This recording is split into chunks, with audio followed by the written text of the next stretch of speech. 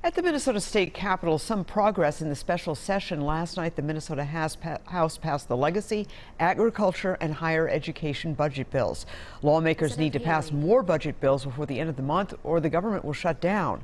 Last week, House Republicans launched a long filibuster that black, blocked bills' passage because they were unhappy about not being included in budget negotiations. Democratic House Speaker Melissa Hortman called the move by House Republicans obstructionist. A short time ago, I spoke with the leader of the Republican House minority, Kurt Daudt. Take a look. Well, joining us right now, Minority Leader Representative Kurt Daudt. Thank you so much for coming on. Well, good morning, Esme. Thanks for having me on. All right, 10 days left until July 1st. Are you going to filibuster the remaining budget bills, which are the big ones this week?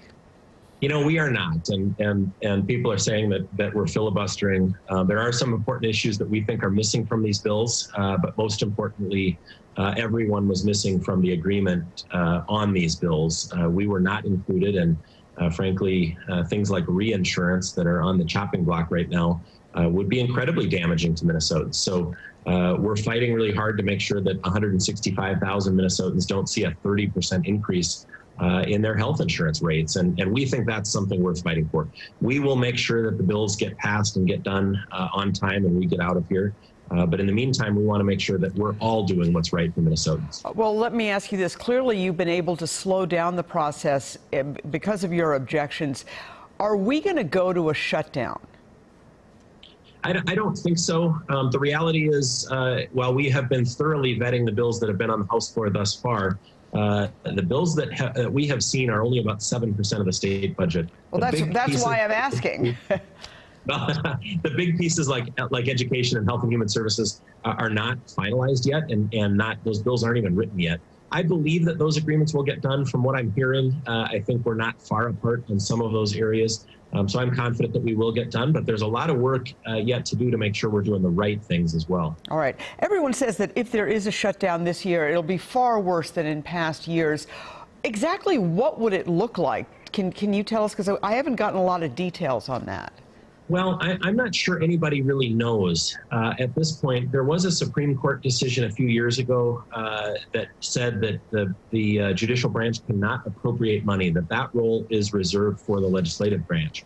Uh, meaning, uh, if there is a shutdown, they can't declare that some services are emergency services. I have a feeling that a court would still probably interpret that uh, Supreme Court ruling differently. Um, and I'm sure that if we got to the point where we were on the brink of a shutdown, that legislators and the governor would step in and say, well, let's put in place a, a temporary stopgap funding for at least 30 days or something like that to make sure that we didn't, uh, you know, close down our, our prisons and, and roll, uh, uh, roll uh, wheelchairs out of nursing homes into the streets. Uh, those are things that just can't happen, frankly.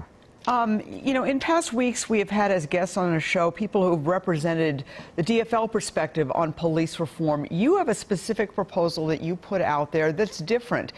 Tell us about that proposal and why you feel it could lead to some positive changes.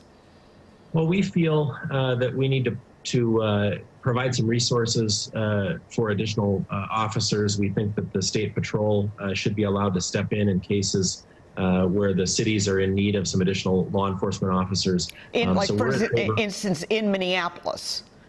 Correct. Yes, correct. and, and also in St. Paul, if it came to that. Um, we believe that there should be some uh, additional money provided for ShotSpotter and uh, those sorts of things. We've had two nights in a row now where there's been gunshots right outside of the Capitol, and we've encouraged our members uh, to travel back and forth between the Capitol and their office building through the tunnel uh, because the streets aren't really safe.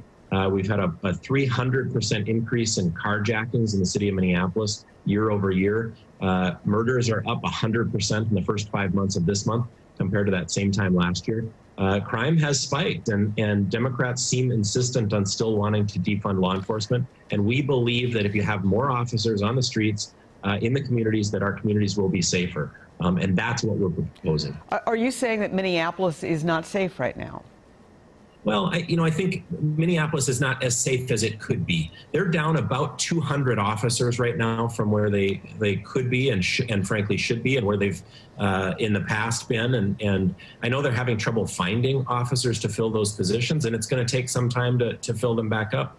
Um, a lot of those vacancies are as a result of uh, the riots that happened last year. So, what we need to do is support our law enforcement, give them the funding they need, and the verbal support from Minnesota's leaders um, so that our communities have trust in our law enforcement. That's what's really important. Okay, well, uh, Minority Leader Kurt Daudt, thank you so much for joining us. Uh, always a pleasure. Thank you. Good morning, Esme. Good morning.